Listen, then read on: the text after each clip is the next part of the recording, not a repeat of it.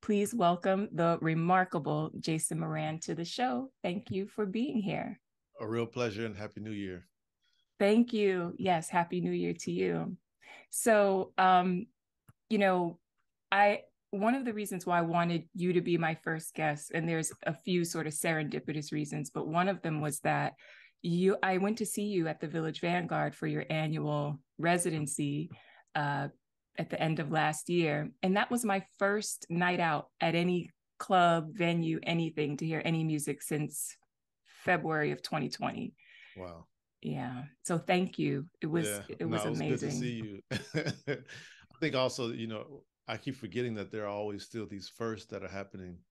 You know, like the we have these markers. We talk about milestones. Like like COVID is a marker. Will be a marker uh, of a lot of our eras, and and we'll have to tell people how we recovered.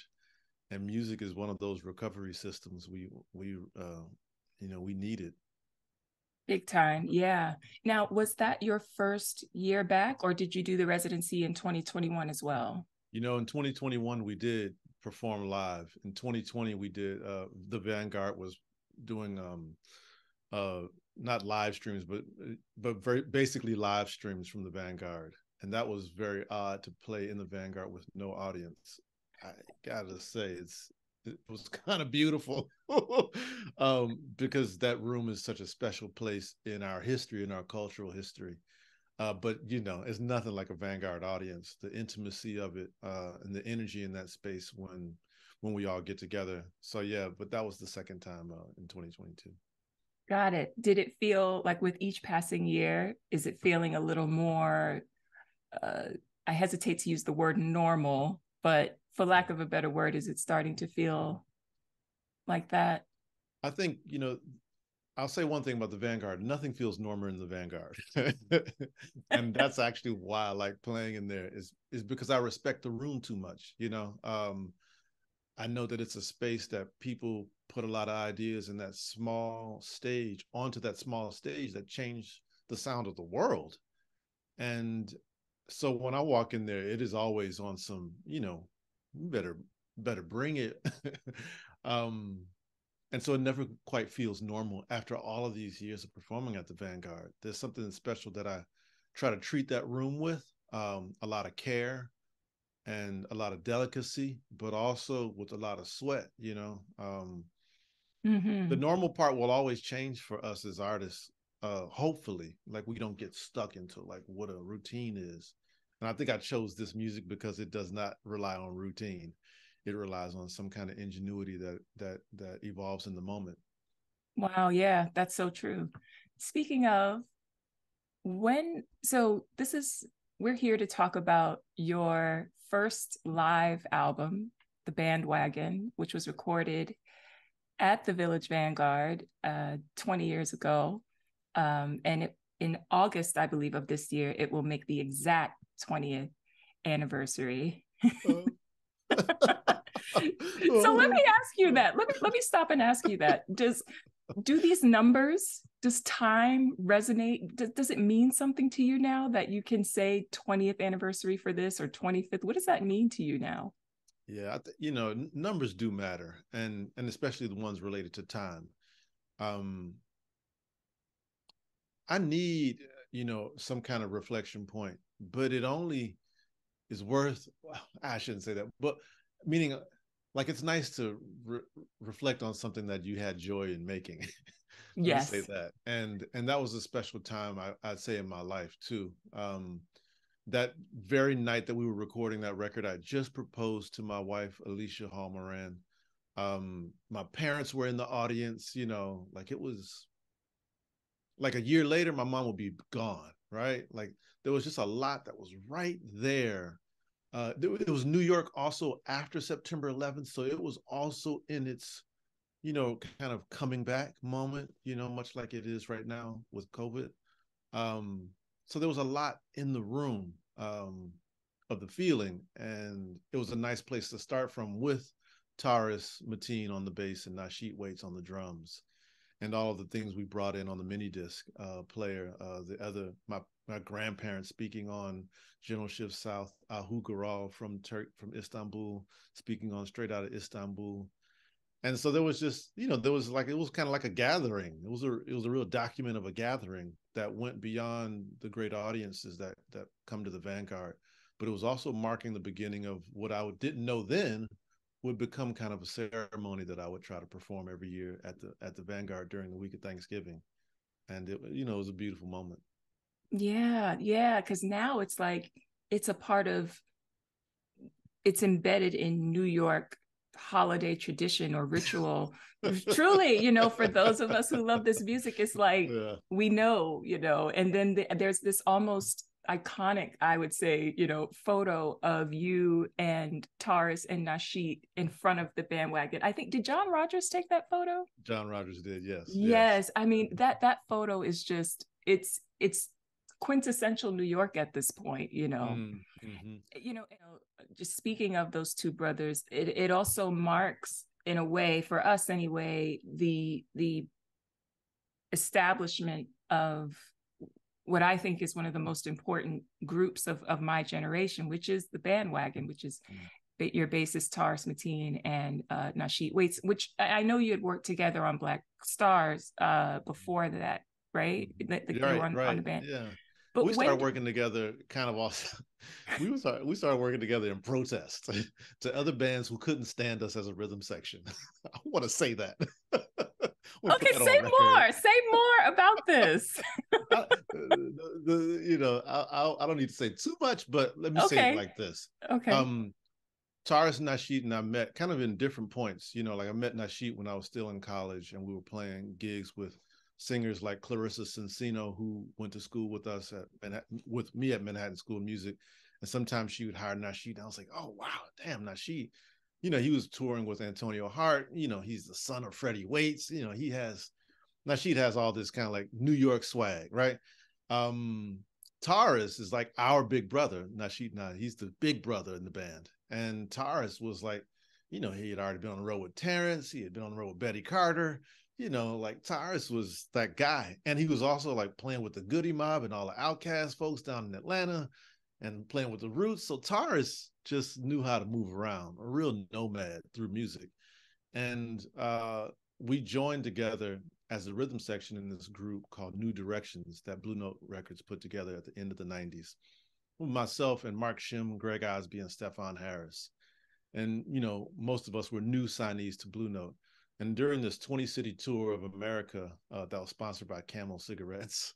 yeah, this moment. is the 90s. this is the late 90s, is bizarre times. Um, but during that 20 city tour, Nasheet Taurus and I, we started to find something together. And on Facing Left, which was my second record for Blue Note, was when we kind of like started to put some of our ideas on onto uh onto uh recordings but the bandwagon record at the Vanguard was like, this is how it hits people, you know? Mm. Like, and it was something about like moving away this space of like being in the studio and showing what it does, what the music does to an audience real time.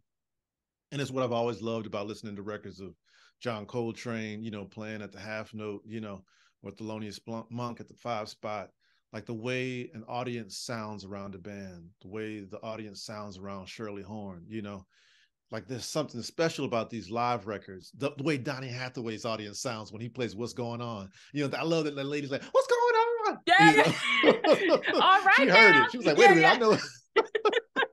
so, like, right. So there's just something about that documenting the audience as part of of what this music is that uh that that also is as important as the studio record.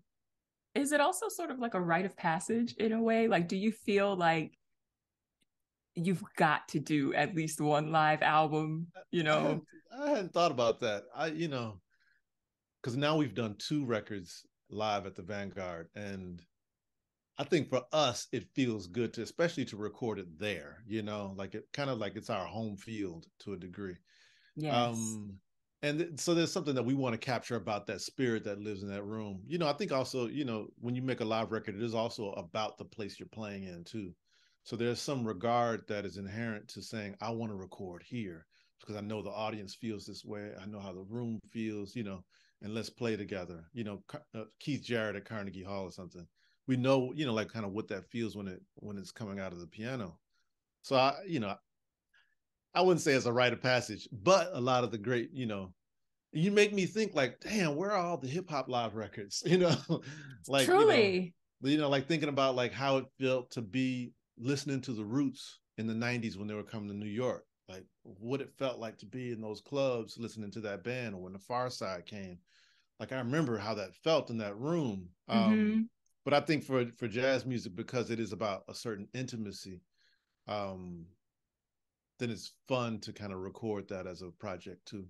Mm-hmm. When did you know that Taurus and Nasheet were your people? Like, did you know instantly, like, okay, this is a thing? This is.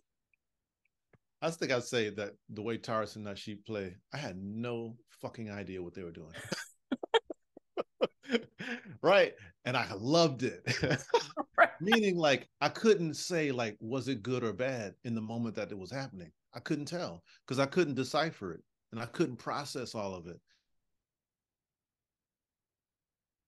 And I'd say during that first tour, we found some of the language, right? And then we, I think we started having discussions. And I had, and privately, I always told them, I never really kind of told the public, but we had like two bands, or maybe three, but two bands definitely that we were like, these are the emblems that we're going to go for. And one band was a band that Max Roach had with the piano player Hasaan and they made one record called the Has- the Max Roach Trio featuring Hasaan. I said that's we're going for that that kind of energy and power, and then the other one is John Coltrane's group, the group with, with McCoy and Elvin and Jimmy Garrison. It was like, how do we play with that kind of energy, but we don't have a saxophone that's wailing, mm-hmm. you know? Mm-hmm. So, what is it about? Like, can we? And so then you got to find repertoire that echoes that move, you know and so for us, the repertoire just started to go widely rather than kind of keeping it in a would have been traditionally given to, I'd say, you know, to audiences as like a the repertoire that happens in the Vanguard. I thought, man, fuck that. You know, like there's yeah. great songs out here. Like, you know, we should be playing the songs that we like, you know, and, and that's what I felt like my favorite musicians had done. So we wanted to more honor that tradition of, of pushing, but I had no idea what they were doing. And but then we would start to find a language together and then i knew that that couldn't be replicated by any other group and i said mm-hmm. oh, this is worth keeping you know mm-hmm. absolutely speaking of you saying you know you guys decided to go bigger and not smaller i feel like just with that intro mm-hmm. with the, the bandwagon loop it's yes. like okay like yeah, y'all set the signal real early. Like yeah, this this ain't about to be, you know, yeah, T, T right. for 2 You're right. You're right. I kind of forget about that moment that, you know, I used to use the mini disc as a very important, like fourth member of the band was the mini disc. And I'd have all these kind of loops and tracks kind of pre-recorded collages and they would kind of dot and throughout the set. And so that opening sound is just like the the MC Cormega saying bandwagon. and I, yes, and, you know, like it shows knew. up. Yeah, it's Cormega. Shout out I, I always wanted to know who that was. Word up. Oh, that's crazy. Anyway, that's uh, you know, like that's just um oh you know what? You make me think about how a lot of the like that element of the way the, that record sounds and the way samples are used and maybe the best uh the um, example is growing up listening to De La Soul and listening to how Prince Paul kind of made these skits and you know kind of like pasted together parts of history on top of one another with a lot of you know musical integrity at the same time. Um so prince paul and and the three mcs you know um from de la soul they nailed a kind of quirky humor but you could not deny how good they sounded, right? Like yes, like a little bit off, but totally in the center. Um, and they definitely had a huge impact on my listening. And so the bandwagon record, that's kind of where you hear, you know, most people heard it live uh, when we were performing because I didn't record all of that the way we worked it. But you hear in that intro like the, the there's something else kind of moving through this band and it's not always coming from the instruments. Absolutely. And and let's let's stay there for a while. I was going to go somewhere else with this conversation, but let's go somewhere else because you brought up uh sampling the mini disc and De La Soul. So I, I I, I want to ask you because this album to me is as much jazz as it is classical, as it is folk, as it is hip hop. It's really this amalgamation of so many things, right? Mm-hmm. But coming from Houston, Texas, what because I it's hard for me like being from the South Bronx, you know, coming into the world at the dawn of hip hop. Like, of course, hip hop is everywhere. It's like it's in my veins. Exactly. Yeah. But for you, growing up in, and I can almost fathom it on the West. I can fa- uh, like all the way west. I can mm-hmm. fathom it, you know, in the South. My thoughts and feelings about these other, mm-hmm. you know, uh, interpretations of hip hop aside, I mm-hmm. have a clear understanding of maybe how hip hop could come into the consciousness of people in those regions.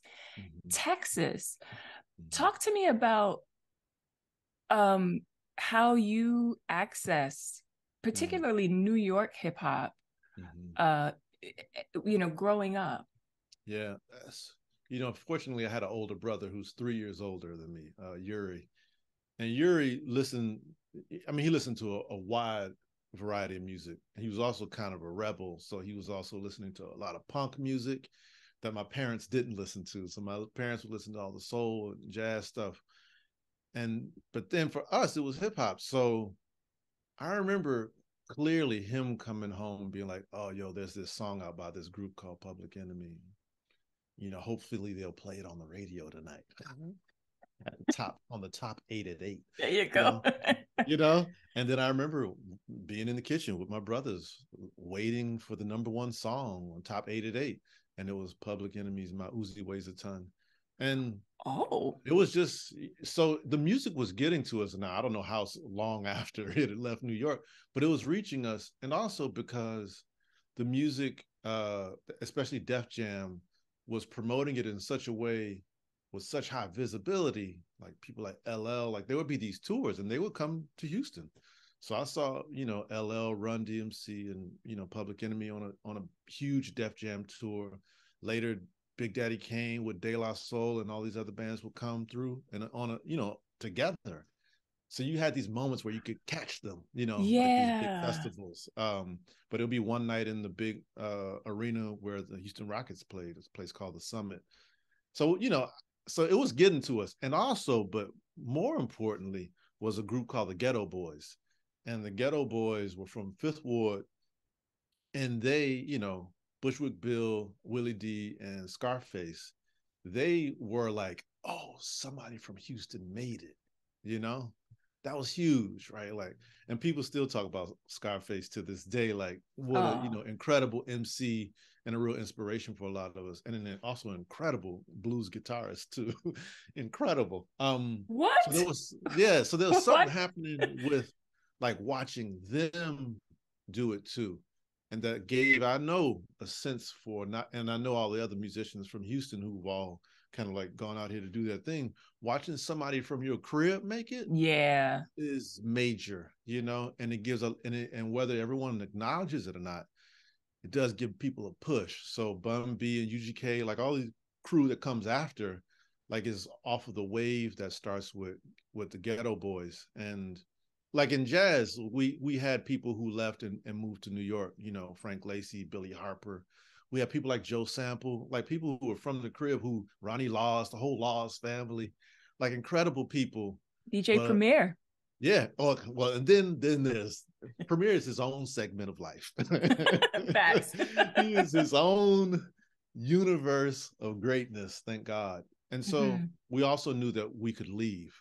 And but we also had to figure out how to do that. And and and enough of us started leaving at the same time that we were able to form a community. But but it was it was reaching us, it was just reaching us slow. But also we had to find where was our footing with what we were hearing. And I think now we kind of have a good sense of like, oh, when we look back, actually, we were re- we were getting ready to start to tell our stories. Yeah yeah. And talk to me a little bit about what that was like for you in terms of were people ready for it? Because you know now for the most part i think people don't give it a second thought. It's just mm. a, a, thing. Mm. but in 2003 you mm-hmm. know and and in the early 2000s where you know you or you know even maybe a little earlier with osby or uh mm-hmm. you know branford mm-hmm. i mean That's right. it was still uh not totally accepted and there were these very strong opinions i'll say yeah. about it um yeah. what made you feel like fuck it um this is this is what i do and or this is what i'm doing now yeah. and you know especially as a new artist where one might think perhaps you know you may think well let me play it safe for now and then i'll slowly branch out mm-hmm. versus you know what i mean like, that's it there's a lot of that i was just telling alicia this morning you know about what it felt like to have my teachers andrew hill and muhal richard abrams both tell me you better do what you want first because they're gonna if somebody tells you oh if you do this and then you can do this a little bit right. later, they were like don't believe it you know and and i led with that charge early on and i'd say branford marsalis also a person who linked up with premier you know uh branford is is incredible example of someone who i admire and i actually that you bring him up i had a dream that i called him on the phone to thank him for this very thing. Wow. last night. Are you kidding me? so that you brought that up. Wow. Um, or that you bring him up. But yeah. There's um I I do remember this in making uh that record, the the the visit we made to the Vanguard a little bit earlier in the year was only for two nights. And I brought my mini disc and the sound engineer asked, you know, did Lorraine Gordon hear you play this stuff? And it was the first moment that I thought, like, oh, is this is this the right place to do this? Like, and I just thought, you know, yeah, like this is not wild. What John Coltrane was doing was wild. Right. Me playing a mini disc is not wild. Boy, get through your head. You know, she's heard way more than that. Mm-hmm. So I felt like, nah, it's worth trying. And also, audiences are different. You know, the, um, and I didn't necessarily, you know, I don't, I can't listen to the public opinion a, uh, a lot because it'll, it can be distracting. Um, so I just thought that I had seen the effect of this around the world when we were on tour. Mm-hmm. So I mm-hmm. knew that it had a place and it jarred the audience in a way. So if they came to see me play, they should never expect to just hear the instruments that are on the stage. They mm. might also keep an ear out for the ghost and it might show up in the mini disc or you know the sound might come from somewhere else and it was just to awaken my audience that the sound could be anywhere and it might not be coming from myself taurus and Nasheet all the time. Yeah. And so with some of those samples that we'll get into some of those loops that we'll talk about as we hopefully hit as many of these tracks as possible mm-hmm. um were you doing um like what were you using to sample at that time? Oh yeah well it wasn't a sampler. Okay. i am a long time logic lover you know? Uh i started okay. working with logic you know very long time ago and it seems to be the program that you know that i've just kind of grown with over the years still use it to this day and it always is saving my life. Um so i was using logic. You know the thing about the mini disc for me was when i first had the mini disc and a lot of other musicians and people had mini discs and we would record and bootleg gigs. So you'd record rehearsals on it. It was so small and, you know, quick and easy to edit. Um, but also I thought like, well, I use this as a way to document the world around me. So if I was in the way I recorded the woman Ahu in Istanbul was I had my mini disc. And then at the end of the day, I just held the mic and was like, tell me about what we did today, you know? And because it was a way for me to like remind myself of where I was. That's how I was using it. Much like the voice memo on your phone today, you know, right. press voice. So MD was was quick and easy like that. Um, but I was using Logic. Logic was a way to kind of like kind of crudely make little mixes and and see if they you know export them back to the MD and, and play them on the stage. And also design wise, the mini disc is inconspicuous right you can't really see it on this it's like a small little you know four by four inches it's yeah tiny. so you know if you're not looking at a big machine you know i'm not doing this on a drum pad or nothing you know i'm just like press and play on a little bitty thing um mm-hmm. and, and where it, would you keep it like on the top I of the kept piano? it right on the top of the piano right in front of me and mm-hmm. um and then i just kind of memorized where the tracks were and then just press play And the MD also had a beautiful feature, one of my fa- favorite features on any kind of thing. It's like the oven turning itself off when you when you set the timer. Uh-huh. um, is that it will play one track and just stop. Right. So it then wouldn't just go into the next track and go into the next right. track. Just play one track and then it would stop. So it almost was like if I was trying to envision it, if an audience heard that, it was like, wait, something appeared out of nowhere, and then it just stopped on its own. Like, or, wow. Yeah, like you know what I mean? Like it, it wasn't yeah. like they didn't see me like stop it. It right. Was, it was just it did it on its own. I, I, I love machines, not as much as Herbie does, but but I love the capability of machines um, and how humans decide to use them. Yeah, yeah. I, I think it's fascinating the way you incorporated it into um, your work, you know, particularly particularly on this album, because like you said, it's live mm-hmm. and they're watching you, you know. Mm-hmm. Uh, so but I never knew that it could do that. So so you could be just going in right and they never see your oh wow yeah it's like a magic yeah, trick yeah and and and it was you know for years i had fun with it and then at some point i felt like you know what? I should. Can I play piano? I should thought. I, I, thought like you know, Jason, you should just probably just go back to just straight piano, right? And there's something else that I, maybe I've learned from using these voices in this way, and that's what we started trying to figure out as a band after that. After I kind of stopped using the mini disc, but also maybe the more important thing that what about the MD was like what I who I was recording. So the track Gentle Shift South has my three grandparents on it all naming in kind of a list uh, all the ancestors they could recall off the top of their head, you know, and and then just putting them in a row. And I also knew that because I'm in New York or wherever else I'm traveling, mm-hmm. people don't really hear Southern accents like that. That's right. That's right.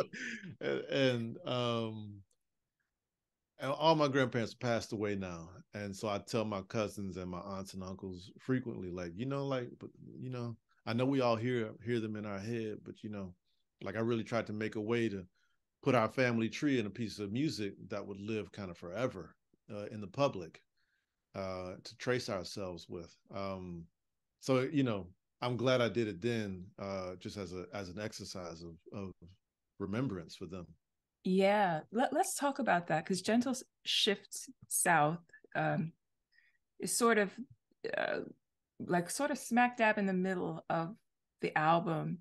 Mm-hmm. It's this gorgeous uh, ballad, I guess you could call it.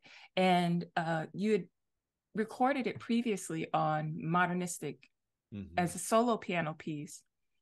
And then uh, on the van on the bandwagon album, as you just stated, you it's layered with all of these beautiful um, voices of your family members. So I wondered if you could tell me uh, the names of, ex- of exactly who we're hearing. Mm. Yeah, sure.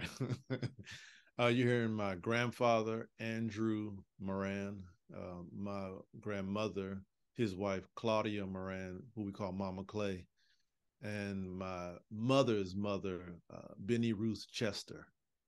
Yeah. And, mm. it, and there's one moment where you hear my mother chime in because she was with me on all these interviews that I did.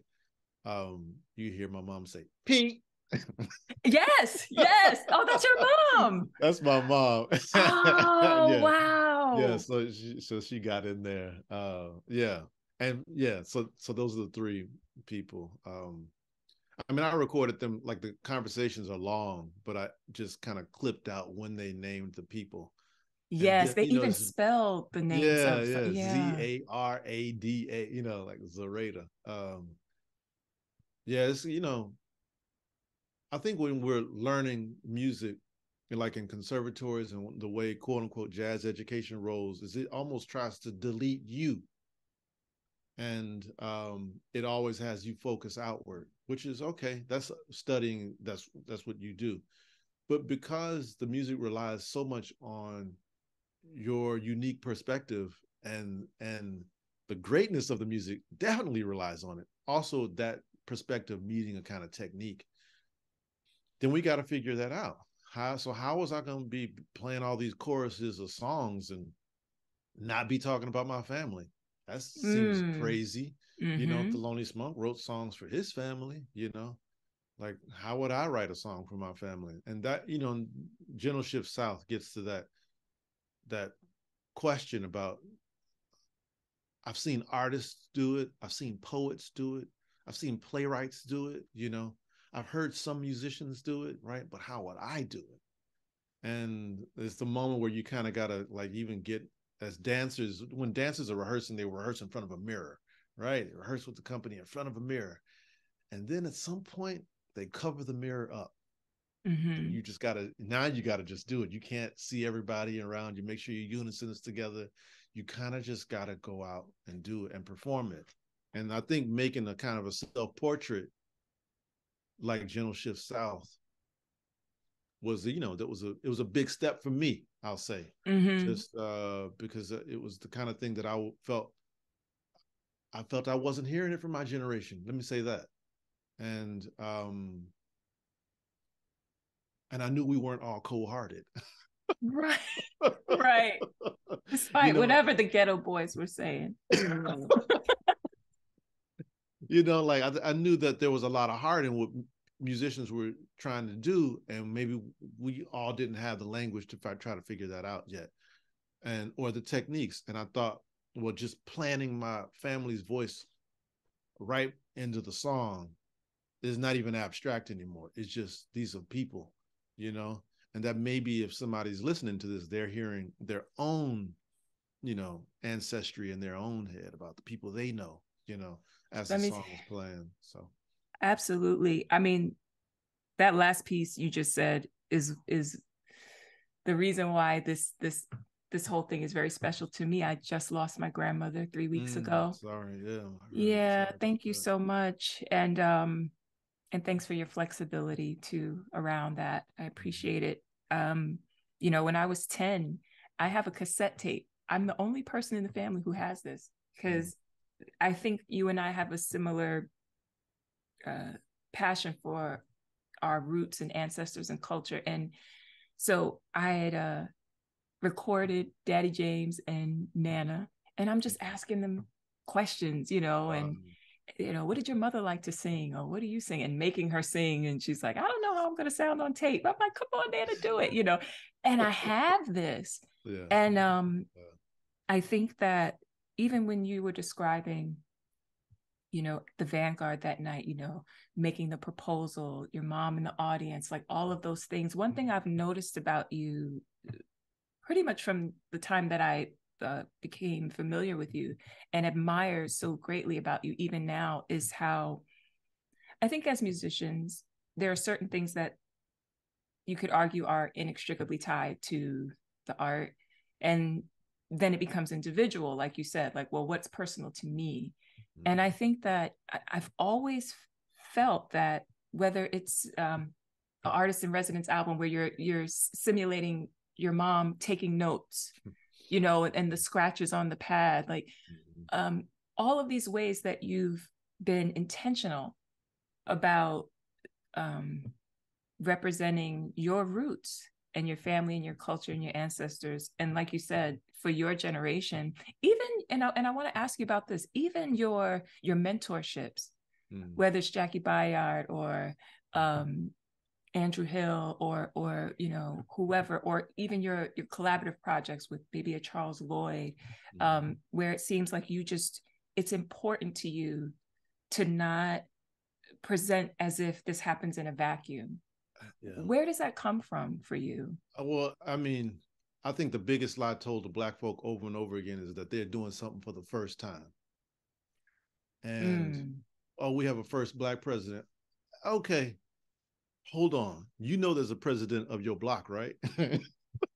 you know there's a mayor of your neighborhood, you know? Yes, sir. And like, so how do we acknowledge like all of the effort of the people who were didn't get that big newspaper article, you know, didn't get the millions of votes, you know, but who you had great regard for and have probably more to do with your life than the president does. So wow so in in music, it's the same. You know, I I think most of us who got into this know that we weren't going to be doing it for a zillion dollars, nor the fame that you were doing it for something else that was calling you.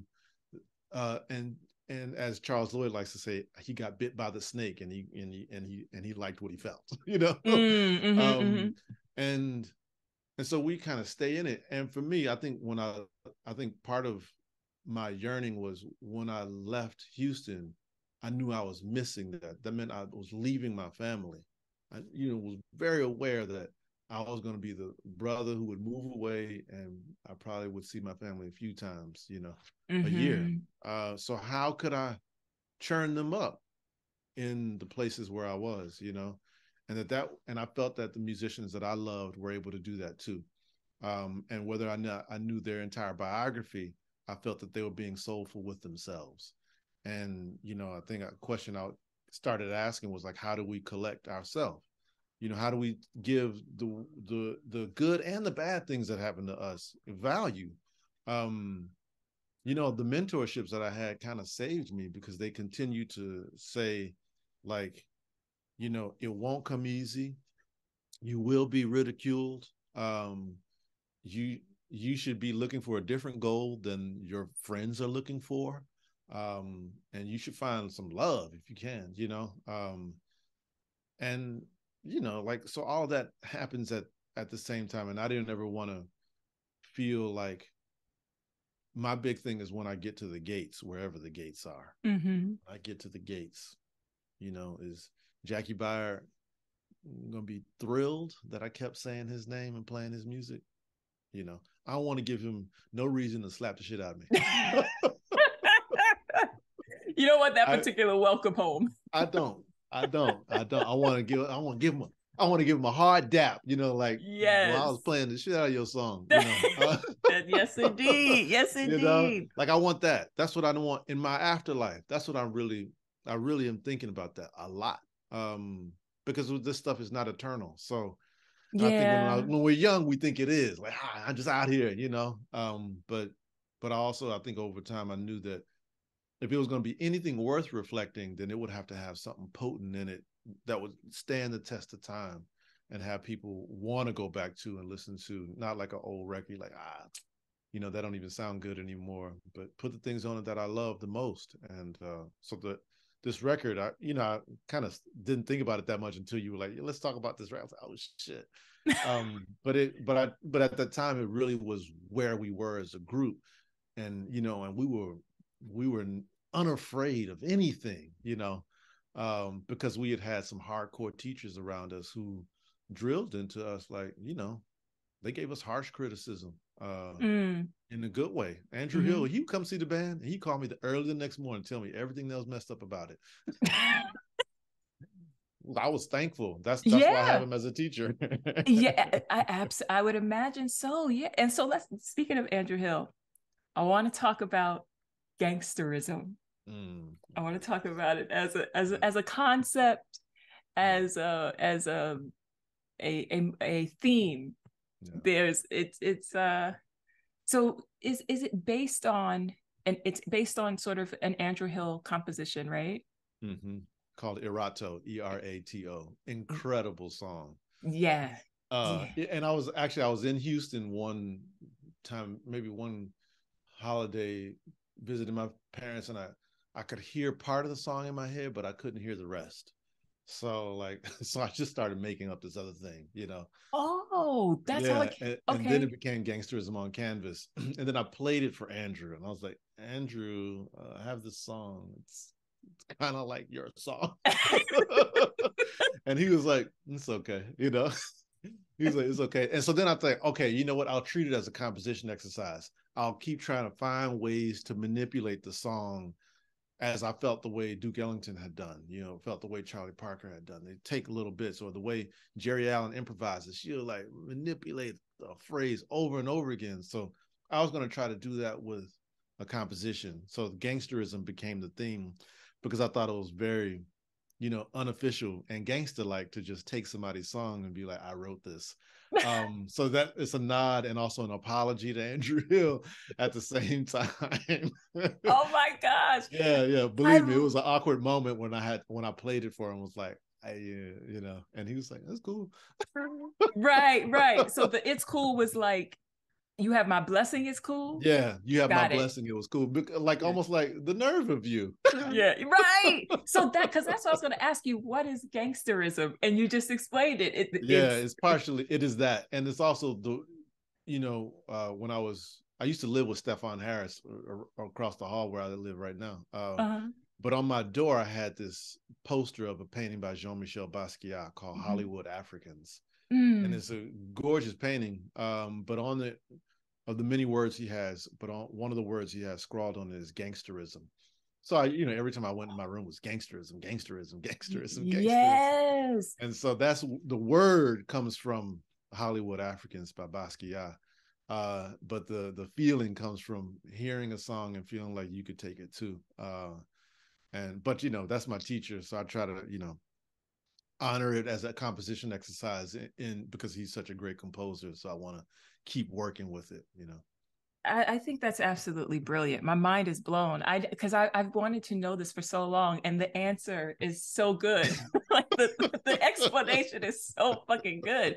Wow. And and also, it sort of, uh, you know, gets to the heart of the visual art that you are so inspired by, and you being a visual artist yourself, and you know, and the whole Basquiat piece. I, I had no clue. So I want to Mhm. run through a few of them because we have Mhm. gangsterism on canvas, right? That's the first one. Yep. Then we got gangsterism on wood, Yep. gangsterism on a river, gangsterism on a lunch table, Yep. gangsterism on irons, That's right. Yeah. gangsterism on stages, which is the one that's from the album we're talking about. Yeah. Gangsterism on the rise, on the set, over Mhm. 10 years in the wind. Did I cover them all? That's it. Yeah. That's all. Yeah. And Time for a new one. I need to make a new one now. You do, you do.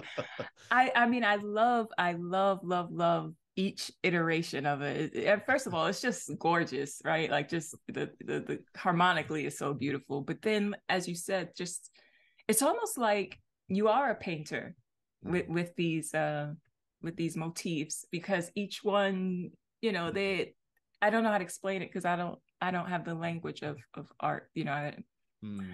you know, but Yeah. um Hmm. Yeah. I hadn't. I guess now that there's so many, I think. I think of it kind of like an Easter egg too. You know, like mm, if you knew that you know, there was an earlier one, you're like, oh shit, let me go back and list. I mean, you got to really be into some shit to to kind of do that comparison study. Um, but it is like looking at a figure, though. You know, it is like a when we look at how painters sketch uh, the the body, because like Mhm. the you know from the the early cave paintings to you know whoever's taking a photograph today how do we like like make that outer line that outline of the body? How do we shade the body? You know how do we some people have multiple heads or ears or you know like the perspective is multiple. Um and i think in in one of the things i was thinking of when you named the early part like on canvas is about is about the medium that you work with. So mhm. like painting on a canvas or or a woodworker work is on wood gangsterism on wood gangsterism on a river is for sam rivers but like as if it's for the water. Um yeah. and gangsterism on irons is for the the danger that a golfer uh it's from my actually my younger brother ty. It's like gangsterism on the irons is about the iron that um that golfers use when they're playing on a par three that goes over the water Oh, wow. like so the gangsters on the stage is like for the vanguard you know it's like one we just made right then and um and for and it was a big transition for the gangsterism series because it went straight to the blues as the Mhm. source you know so now it still has that that feeling of a field holler now we're treating it like it's a field holler Mm-hmm.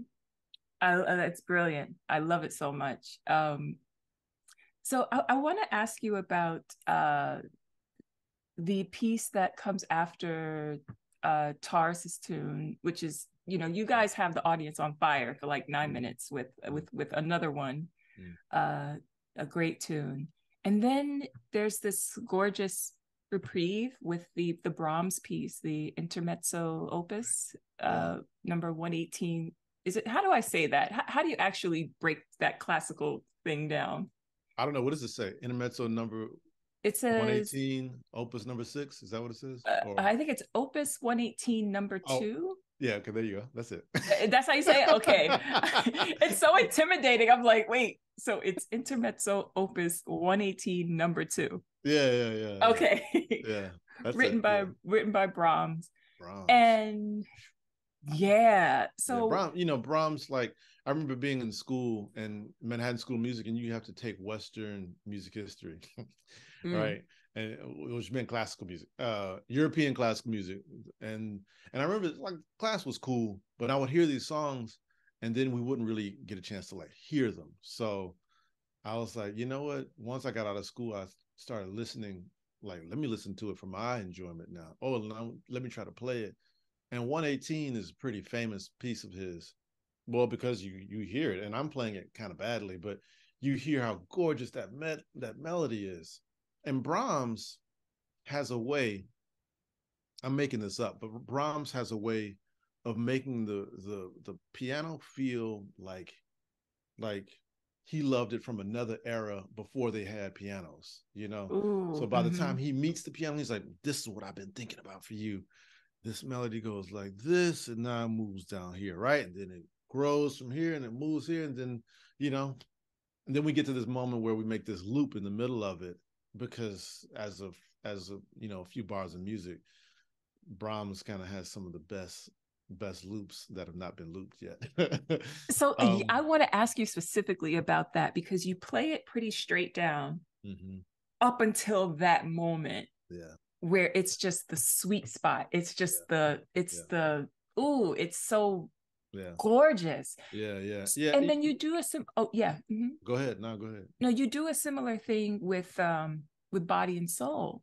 Where you extract these moments almost offering them to your audience or your listener as an entity in and of itself where we really get to meditate on just this thing and it, Mhm. it feels like sampling it feels like something that someone would do out of Yeah. your era right Yeah. of of hip-hop and stuff but i would love for you to talk to me about because that's kind of one of your hallmarks where you can extract these gorgeous moments that might pass somebody else by and then what happens is because it's such a fleeting gorgeous thing you give us the gratification of getting to like bathe in it you know what i'm saying because because you're gonna let us like listen to it for like five minutes or whatever Yeah. this one sweet moment so i'd love for you to talk to me about your approach and you know anything think you, want to say about that I think you nailed it when you said meditate um, on it. Um, because you know repetition is like mantra. It is like chanting. Um, when you hear a thing over and over again, it, it doesn't. It's not that thing. It becomes a new tapestry, uh, much broader. Um, so that repetition of that phrase, you know, um, uh, it's like yeah you you nail it because it is also kind of a luxuriating in it you know like damn did you hear that? It's like it is like definitely the past is saying Wait, i don't think y'all heard me now you know? yeah. Wow yes you know like I, I think it is like very much you know that like wait rewind that rewind that play, wait play that again you know like it is it is that and then but letting that evolve too. So then what does this moment where we decide to oh actually let's just place the repeat bracket around this moment. Now what does that want to create too? And um and i think in our in our music that's essential. Uh it has been for centuries. Uh so you can you can find that everywhere all throughout west africa all in the north africa all in the south africa all in the east africa. You hear that. You hear it in japan. You hear it in india. You know the need for the repetition.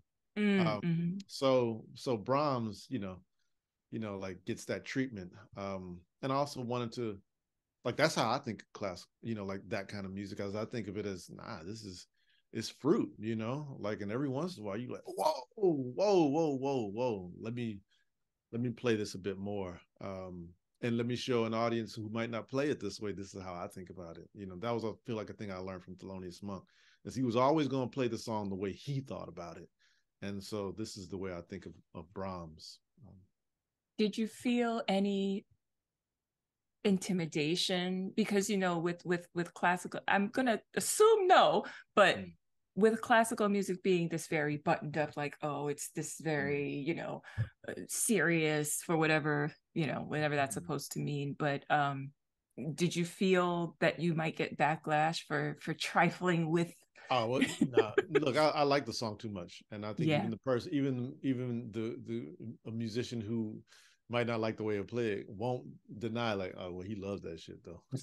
yes, you know? yeah. Like, and, and, and, at a certain point, like I was saying earlier, I, I can't really tune into where the uh where the uh the opinion might come from.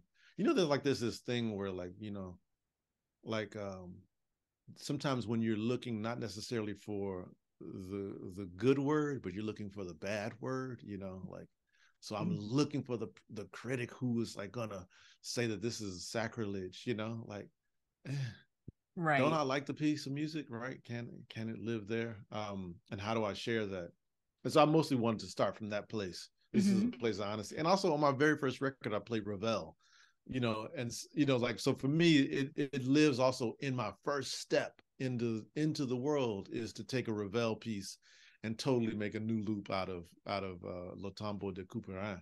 So like for me it's mm. like nah this is where I've been going from jump. Uh so look either you do or you don't but I mm-hmm. love it. yeah, yeah. Uh, same here and I I think it was sort of you know it shouldn't be bold and revolutionary, but it kind, right. kind of, you know, is. This is also a music that you studied early on, you know, as a young person. It's a music that there's still yeah. uh, a lot of, you know, gatekeeping around, you know, black folks playing it and, and things but like also, that. Also, like even like like that always sometimes that happens when people decide to stop paying attention to all the all the evidence out here. Like, Got do it. we or do we not love the way Duke Ellington plays Tchaikovsky? Like, you know what I mean? Like, right. don't he put some swing on that Tchaikovsky that was not there before he did that, right? Like, no, actually, if we consider him Ellington, like as one of our, all right, like you know, he showed us how to respect everything. That's right. right? He showed us oh. how to oh. imbue love in, into the church, into the alley, you know, you know, into the above, into the ground, like into Harlem. Like he showed us how to do that. So these are lessons. They're not necessarily lessons that only apply to him. Uh, I felt like no, nah, the evidence is out here that this is also how we touch. I mean, it's what it's what every great musician that I that I that I love is what I felt like they've been able to do. That Donny Hathaway, the way he plays "What's Going On" by mm-hmm, Marvin Gaye, mm-hmm. it's the same thing. yes, yeah, yeah. Or Superwoman, right? Yeah, or, or yeah. yeah. It know? is the same thing. Wow, I never. He did it with a contemporary. I don't know Brahms, you know. oh my gosh. Um, I, I want to ask you. Um, I hope I'm not keeping you too long, but I, I want to ask you about. Um, uh, we we kind of brushed on it, but uh, straight out of Istanbul. Mm, yeah, um, so big. yeah, like first of all, you know, we see people like you know MonoNeon yeah. uh, you know, sort of uh, yeah. pitch matching, just speaking voice, and you know, with Cardi B or something like that. Oh, but like, you were 20 years ahead of that. You know what I mean? So I, you know, and I love, I love Mono. No, uh, you know, it's, it's, it's, no disrespect. Uh, I think he's amazing, and I think you're amazing. So, um, tell me about like first of all, the ear you have to have to do that because you do it with Planet Rock as well. That's true. That's which true. is amazing. Right. stuff. Yeah. Yeah. That's what I mean by technique. You know, like when I talk about technique, I think people think of technique is like, how does this work? Mm-hmm. And now the technique is it lives here. The technique is like what tools do you use and what tools do you to decide to refine to get your practice across. Uh, and everybody ain't got the same technique, you know. Right. So but the person who inspired me to make uh, straight out of Istanbul is um, Hermeto Pascoal from and such a brilliant composer, uh, multi instrumentalist in Brazil. And Hermeto albino with this flowing white hair. This guy is mm-hmm. incredible. And he, you know, I heard a record Festa dos Deuses, uh, and on that record he transcribes pig he transcribes a teacher in a, like a like a grade school you know he transcribes a football match being you know like he transcribes a politician and he does it at the synthesizer right like and mm-hmm. he makes mm-hmm. these kind of grooves sometimes and it's bizarre but he for me is the goat of this. He's the one that I heard like because he pulled it into our language. Ah. And I felt like the thing that I wanted to add to was like, okay, so now what if the bandwagon started to improvise on this? Because I hadn't Mhm. quite heard that part happen with it. Um, and also I thought, well, this will might be my addition to the innovation is like, so we can improvise on this too, and you can take it, you know. Um, but I'd say the the great part about Logic was that you know I could go section by section and kind of like transcribe the whole thing, but then learning it took you know years you know like i'd have to walk around listen to it on the train trying to hear the nuance and then come back to the piano and try to play the phrases but by virtue of that it totally changed the way i played because then it got me into understanding what a laugh sounds like on the piano you know Right. Um, and so in this conversation so i asked ahu uh, she's now flautist living and singer living here in new york I asked her, she had taken me around Istanbul, me and the rest of the band, who I think was with Greg Osby at the time, Mhm. like took took us around around Istanbul to the Blue Mosque, right? Topkapi Palace, you know, like all these places. Then at the end of the day, I said, So tell me about what we did today. And then she starts talking, right? Uh, and then her cell phone rings and and it's her mother calling, like, you know, where you at? You know. Uh-huh. So she just starts talking to her mother, you know. Um, and and I love that there was this like so you're hearing half of a conversation. Right. so it becomes like a very, you know, like full of these little short spaces, kind of like a monk melody, you know. Mhm. Um, but that but that was kind of, you know, like a thing that for me was, you know, such a joy to do and to make part of the practice was the piano is very much a machine, you know, and so it can't quite bend notes like a guitar or a saxophone can. Uh, it can't like circular breathe. So it'll be a challenge to try to figure out how to play these melodies uh, or these voices. hmm And you said it took you years Yeah. to get that together. Yeah, I Yeah. mean, you could talk to Taurus and Nasheet about what it felt like to rehearse this shit. I mean, it was like arduous. We were like, oh God, you know, we'd have to go phrase by phrase, and and eventually we got it, and then Right. we just performed it on the road all the time. Mhm. We didn't care whether or not people got it because we just needed to practice it. Right. And over time, then it felt like, oh, we just knew it, and we couldn't wait to go back to Istanbul to perform this song. yeah. Did you? by- yeah, we did, and people were like, "Yo," they didn't say it like that. They just Right, they right, said it how- but they said, "Thank you for honoring the language, the Turkish language, you know, as a as a romantic language, as a, as a language full of melody. Thank you know, like thank you for honoring honoring our language." And I thought, oh, you know, you know, the how do you, you know, the other part is like a lot of the music that we make and the people you speak with on your uh podcast make, you know, it goes around the world, so it has impact in other geographies. And but then, like, okay, so then what do you also give back to that geography too? And I Oh. felt like this was a kind of, you know, like a, a thank you to the great city of Istanbul that goes through a lot and that inhabits so much history. It's really a, you know, it's a it's a, a pivot point in in the landscape. Um so you know, to to to make a song about the sound of that insanely beautiful and complex city, uh, you know, felt good to do. Wow, that, that's a, that's such a brilliant point. I never thought about that because we tend to think that we are bringing our music and culture to you know this is our gift to you and to to a, to, and to an extent that is true but i Yep. i have to admit i i never thought about it the way that you're saying it where there's that reciprocating It's essential. It's essential. You know, Mhm. I mean, that's when we talk about the well, I, maybe people talk about diplomacy and music. You know, um, there's other factors that are at play, um, and we're in a real, really, sh- we continue to be in a strange time, um, globally and especially in the country, this country. So, where does the music kind of like live as part of the dialogue process mm-hmm, people? Um, mm-hmm. and we'll and we have to continue to make sure that we have it in there somewhere somehow uh to show and i think the music we make has the opportunity to do that because it doesn't it doesn't necessarily place a boundary you know so that's why i say ellington doing tchaikovsky that's you know like that's like he's giving it up you know like right. you know like you know you impacted my hands you know? It's a it's a gesture uh and we all could stand to do some more gestures. Mm-hmm. Absolutely. Absolutely. Do you you mentioned um the practice piece you know of because of, of something so complex that it took a lot of you know practicing it out. Um but in general do you guys practice still? Do you still rehearse? A little bit. Uh-huh. we, we just rehearse a little you know and mostly if i'm working on some new music but most rehearsals end up being right before a gig. Mm. and you know because now we have a language you know there's not so there are different kind of rungs we need to climb on a song together.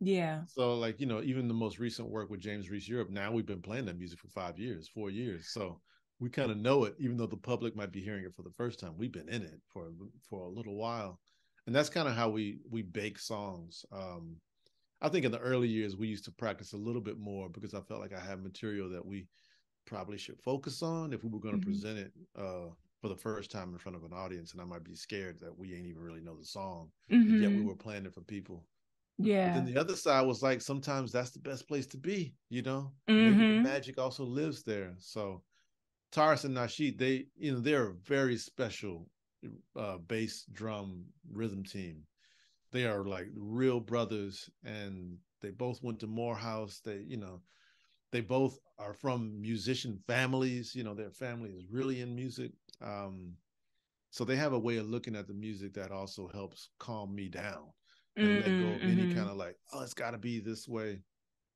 they really they really cured me of that long long ago. Yeah. it's gonna be the way it's gonna be.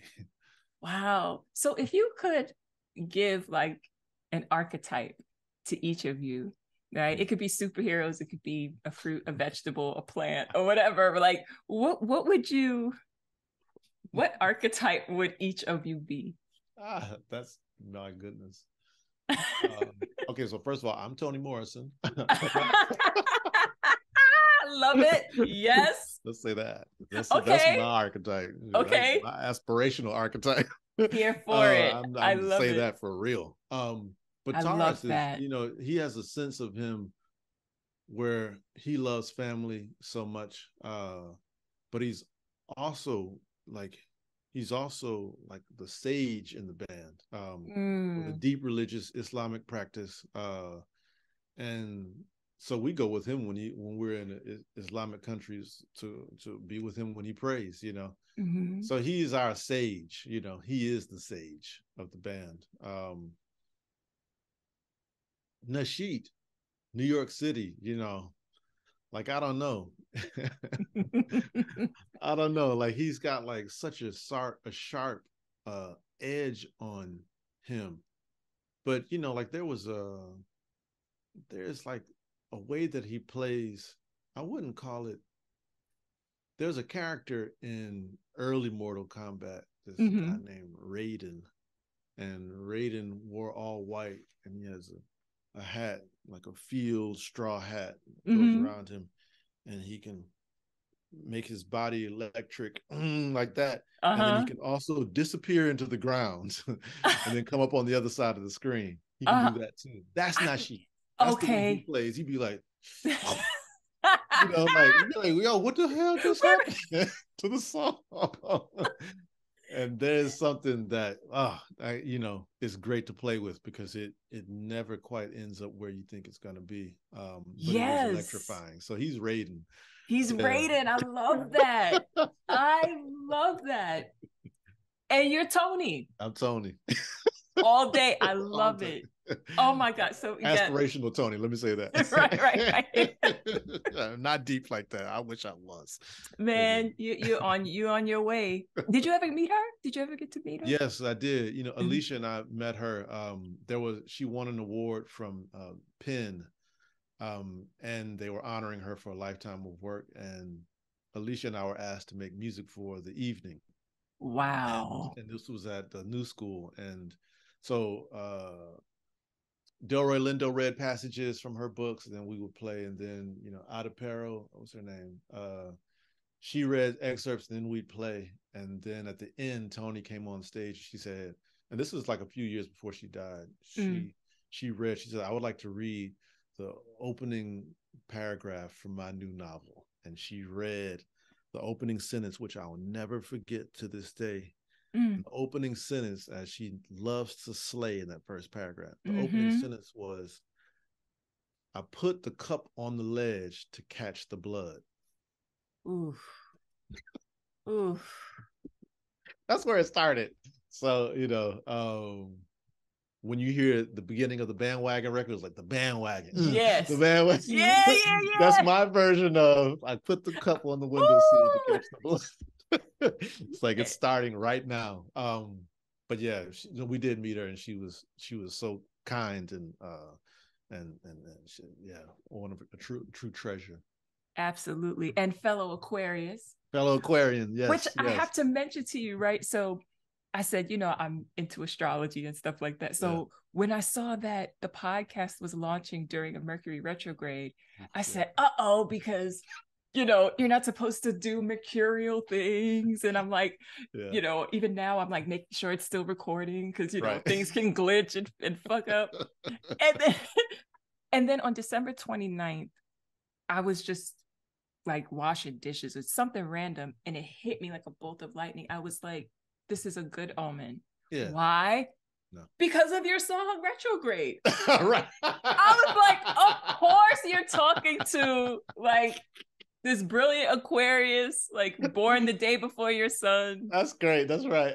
who wrote the song called Retrograde. And you just, yeah. so I was like, this is actually like a wink nod from the universe. This is so nah, cool. It's all good. Yeah. It's you know, all there, good. Yeah. There's a, I use my, now I use my, uh, my horoscope to more be like, you know, like, you know, like, you know, okay, be aware. All be right. aware. I can do that. exactly. Know? And, and, I, uh, and I, and I do read it sometimes more seriously than others, you know. Mm-hmm. Um, but also conversation is is really necessary. So you know, I hope I'm hope it's a good omen. oh, oh, this I mean, this conversation is is is everything. Let's close with talking about um your your your latest project. I know that you've been in James Reese Europe universe zone yeah. you know for for quite some time. And um i think you even visited his his resting site and and things like that. Yeah, yeah. um so yeah I, I would love for you to um just talk to me a little bit about the project um mm-hmm. how it came about and a little bit about your your process and and who you are now having learned so much about this very important person James Reese Europe, um, important composer and organizer at the beginning of the 20th century, coming to New York City from DC um, as a composer. And he started the Clef Club, which was kind of a musicians union, black musicians union. He's storming into Carnegie Hall with 125 musicians in 1910 and 11. He's kind of like making all the hip dance songs of the time. His his sheet music is sold everywhere. He's he's a sensation in all regards. He's the Quincy Jones of that time. Wow. And but then he wants to go fight in the war in World War One. And black folk thinking about what they owed the country is complex. It continues to be, especially in the armed forces. But he and a bunch of others was like, "Nah, I want to. Sh- I'm gonna show you. I'm gonna be the example." Um, and but then when they figure out that he's going to join the war, he wants to lead a band. They ask him to lead a band, and they pay him to lead a band, and he does. And that band does a lot for kind of setting up the scale that becomes big bands 10 years later. He does that early on. And um, and I heard about him through Randy Weston, uh, the great God, Randy Weston, who sat me down in his home and gave me the lecture on James Reese Europe and was like, You got to know who he is, Jason. And he's saying it to me like that. And Randy Weston at six foot four or six foot five, when yeah. he tells you you need to know something, you need to know something period point blank period. And so over these years i've been developing this project uh, that started in london with an organization that was honoring uh, the centennial of uh, uh the end of world war one. And that's when it started. And uh, it's called 1418 now. And i couldn't stop thinking about the music. And i couldn't stop thinking about that gaping hole at the beginning of our origin story for our black music it's one that kind of like was missing. And I thought, as much as I love Thelonious Monk, people know who that is. As much right. as I love Fats Waller, people know who Fats Waller is. Right. No, I'll need to kind of double down and say this person's name. Even if nobody ever listens to the record, they should hear the name because I just wasn't hearing the name. And so just say the name, James Reese Europe, over and over again.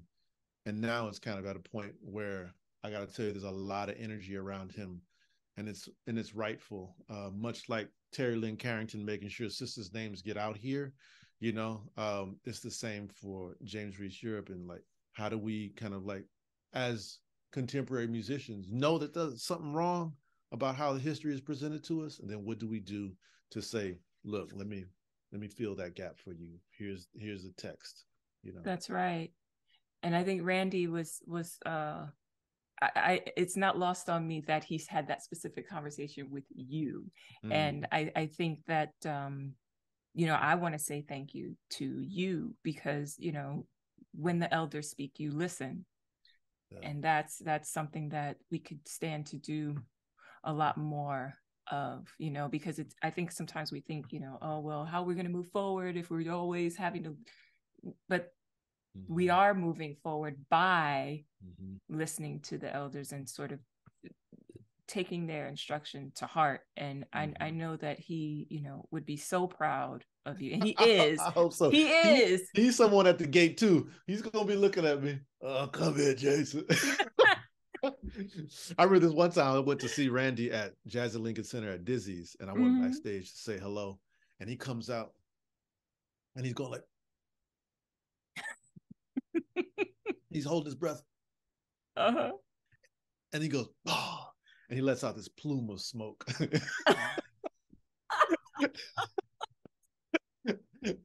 I was like, yeah, that's right. Let it get in there. Exactly, exactly. but now Randy was he was an important figure because he didn't he never stopped saying Africa. He never stopped saying it, right? He was like, no, this right. He's like, no, I'm gonna plant it in you. Like when you come see me, this is what I'm talking about. This is where it comes from. You know, this is you like my song, you know, it comes from these rhythms, you know. That's right. He was like, no, you have to keep telling people and you have to be unafraid to do it. And um so I'm thankful for his time and uh uh and for his wife Fatou's time to to sit down that day with me. And they continue to over the years too. They were always so warm uh, mm-hmm. with a lot of the younger generation uh, because I think yes. he understood his role in the community, and he was always the Baba for that. You know. Absolutely, absolutely. And you are, you know, a Baba in training. Oh my sure, God! Sure. you know what I mean? you got not not just because you got the you know the grades coming in to prove it, but certainly for your tremendous work and impact and dedication to what's beyond the surface. So I appreciate it. Thank you. Thank you, Jason. Thank you so, so much. Um, where can people find you and all that good stuff? Um, I am on Instagram, the Jason Moran, and I only sell my music on Bandcamp. So uh, you can go to a, website called Bandcamp and uh, go to Jason Moran. All my music is there. All my new music that I own. Come on now. Yes Records, right? Is it yes? Yes, yes Records. Yeah. Yes, yeah. indeed. I, am kind of keeping it very uh, over there uh, as a as a platform for now. Um, but yes, that's where you can find me. Awesome. Thank you, Jason. My we pleasure. Thank see... you, Angélika. And we'll see you next time. Oh, this was wonderful. This was just